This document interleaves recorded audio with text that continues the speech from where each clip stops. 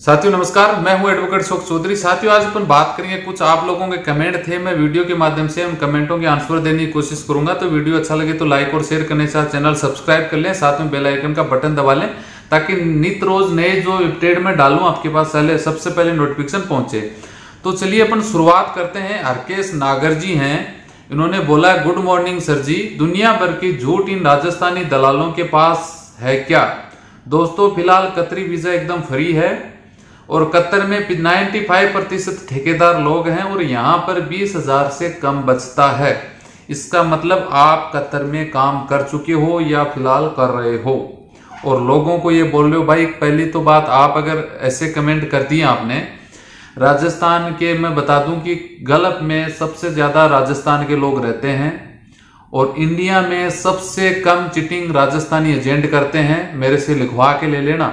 समझ गए बात को? ये आप शायद या तो राजस्थान के होंगे नहीं, या मुझे नहीं पता आपने ये कमेंट क्यों किया।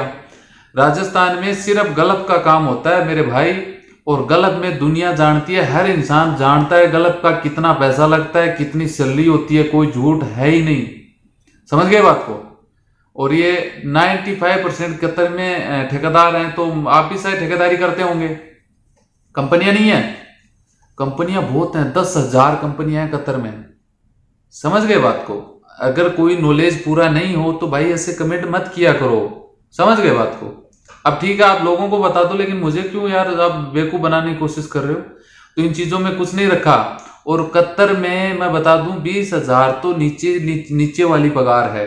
क्योंकि बारह सौ रुपए तो कम से कम मिलता है नो डाउट पच्चीस, बीस हज़ार से लेके लोग बहुत अच्छा पैसा कमाते हैं। जैसे दुबई में, दुबई की कतर की शेयर सेम है ना?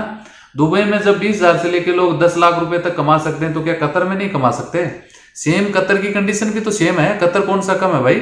ठीक है, दुबई में लोग ज़्यादा रहते हैं। वहाँ पर क्या कम है दुबई में? कतर में दस लाख आदमी है इंडिया के। पागल नहीं है वो। या फिर आप ज़्यादा सियाणे हो? अपने दिमाग भैया अपने पास रखा करो, ठीक है?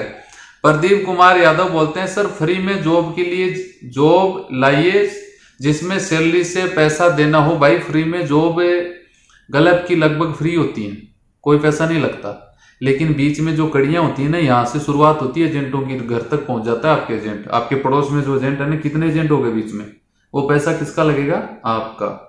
कंपनियाँ फ्री वीज़ा देती हैं। ठीक है, पैसा नहीं लगता, लेकिन वो बीच में जो कड़ियाँ होती है ना, सत्तर, अस्सी, हज़ार, लाख रुपए तक पहुँच जाता है। फ्री का ही आता है काम।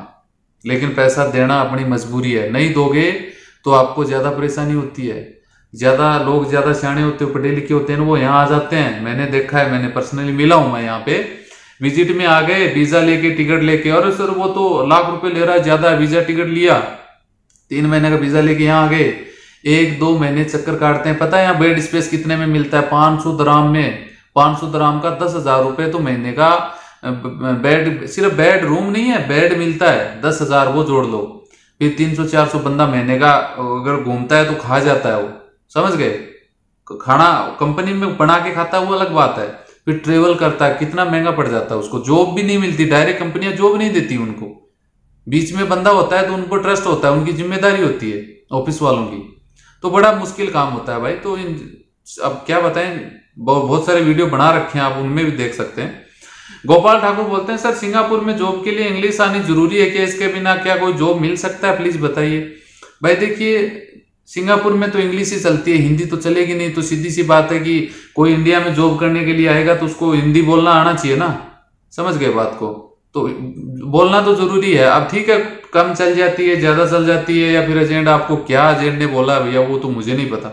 बाकी बिल्कुल इंग्लिश आनी ज़रूरी है आपको।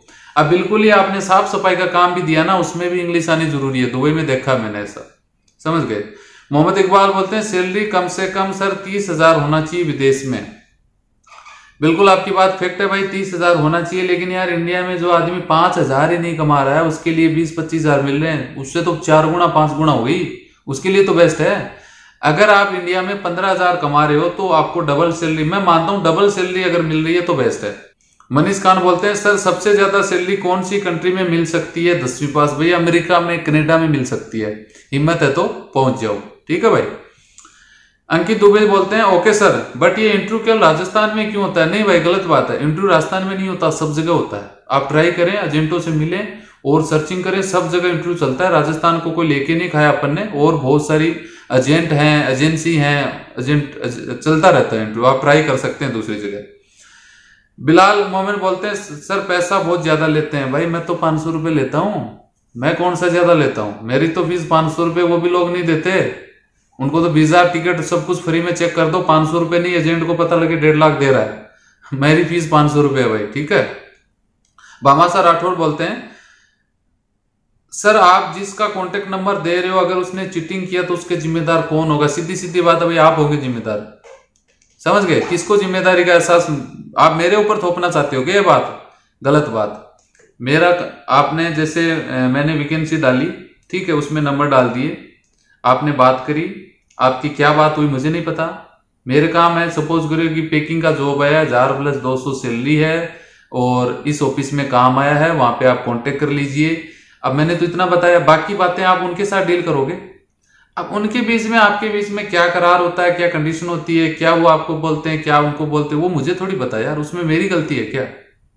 वो ज़िम्मेदारी आपकी खुद की है, दूसरे पे बंदूक रख के घोड़ा मत मत चलाओ आप, ठीक है? आपकी खुद की ज़िम्मेदारी है, आप ज़िम्मेदारी लोगे इसकी, अगर जाना है तो। नहीं जाना है तो कोई बात नहीं। ठीक है जी।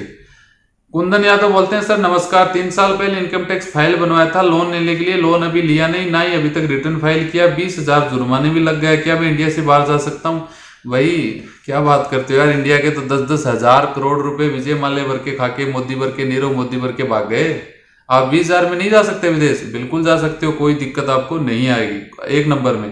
दो नंबर में भागे थे, वो आप एक नंबर में जाओ, कोई दिक्कत आपको नहीं आएगी।